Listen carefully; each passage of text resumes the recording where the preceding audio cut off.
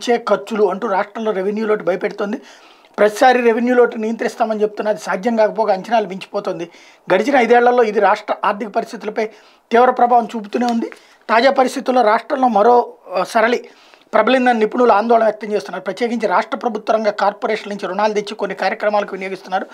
వాటిని తీర్చేందుకు రాష్ట్ర ఆదాయాన్ని మళ్ళిస్తున్నారు. రాష్ట్ర బడ్జెట్లోనే కార్పొరేషన్లకు గ్రాంట్ మంజూరు చేసి రుణాలు తీర్చాల్సి వస్తుంది. ఆ అప్పులతో రెవెన్యూ ఖర్చులు చేస్తున్న వాటిని లెక్కల్లోకి చేర్చట్లేదని అనుమానాలు వ్యక్తమవుతున్నాయి. ఫలితంగా రెవెన్యూ లోటును ద్రవ్య లోటును ఉన్నదానికంటే తక్కువగా చూపిస్తున్నారని చర్చ జరుగుతోంది అంటూ దీన్ని ఒక ఎకనమిక్స్ స్టూడెంట్స్కి లెక్చరర్ గారు రాసినట్టు ఒక పెద్ద కథ రాసుకొచ్చారు.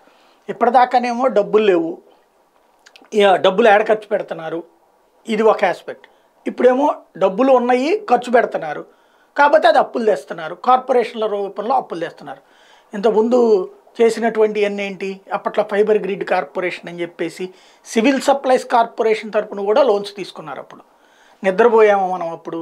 నిద్ర మేల్కో పెట్టచ్చు. నిజ నిజంగా నిద్రపోతే. లేకపోతే దొంగ నిద్రపోయేటువంటి వాళ్ళని ఏం చేయాలా?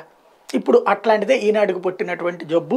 ఈనాడు జ్యోతిలకు జబ్బు ఏంటంటే ఆర్థికంగా రాష్ట్రం ఏదో అరాచకం జరిగిపోతుందని ప్రజల్ని నమ్మించడం కోసం మధ్యతరగతి ప్రజల్ని మోసం చేయడం కోసం చేసేటువంటి ప్రయత్నం. ఎందుకంటే లేబర్ పట్టించుకోరు. ధనికులకి తెలుసు ఆ కథలేదు. మధ్యతరగతికి వీటి మీద ఐడియా తక్కువ ఉంటుంది. ఏదో జరిగిపోతుంది. వాళ్ళు అప్పులు చేస్తారు. అట్లా వేరే వాళ్ళు అప్పు చేస్తున్నట్టు అంటే బ్యాంక్ ఇట్లాంటి అప్పులు అనేది ఆ, చేస్తున్నాం మనం.